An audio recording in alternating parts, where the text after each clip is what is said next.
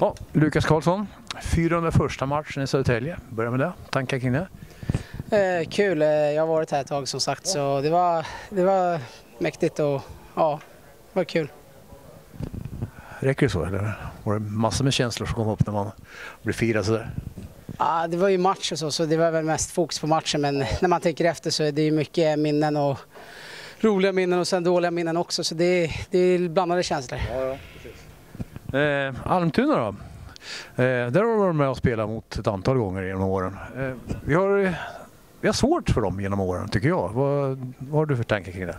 Jo, det är lite som du säger men eh, det är svårt att säga. Det är väl lite från säsong till säsong men borde vara det. Nu var det andra matchen jag spelade mot dem den här säsongen men eh, de är lite luriga. De har nog en del skickliga spelare och sen så tycker inte jag riktigt att vi kommer upp i nivå idag och sen så Ja, men det var skönt att vi tog två pinnar i alla fall.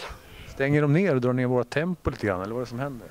Jo, men de, de, de, jag tycker de spelar ändå rätt skickligt nerifrån. Försöker hitta mitten rätt mycket men det är lite som du sa, de drar ner tempot lite, försöker ta lite burskydd och sånt men vi försöker dra upp tempot men det blir inte riktigt som man vill varje gång så det är, ja, men skönt med vinst i alla fall.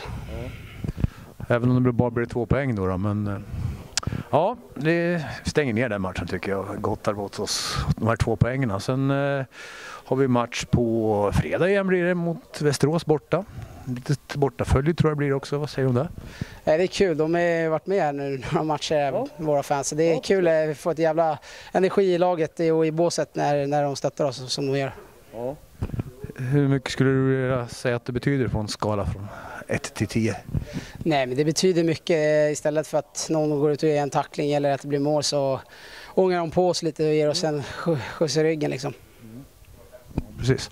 Eh, ja, vi ser fram emot den matchen och sen är det match igen på söndag också. Så att eh, manifestation här hemma. Då hoppas vi det blir rejält med folk. Ja, exakt. Man får hoppas att det blir fullt hus i alla fall. Det vore kul. Ja, det blir en tuff vecka annars. Eh, hur tacklar man den? Hur, hur laddar ni? Har ni någon träning mitt emellan och som bara kör? Ja, vi har ju träning eh, ja, varje dag vi inte har match tänkte jag säga. Så det, ja, så det, är- det, är bara, det är fullt ös så det är bara att köra. Det är ingen vila alltså? Nej, det är lika bra att köra på. Det låter gött det. Men som sagt, vi hoppas på mycket folk på eh, söndag då. Ja, precis. Då syns vi då. Om inte annat på fredag kanske. Exakt. Bra, tack ska du ha. Tack, tack.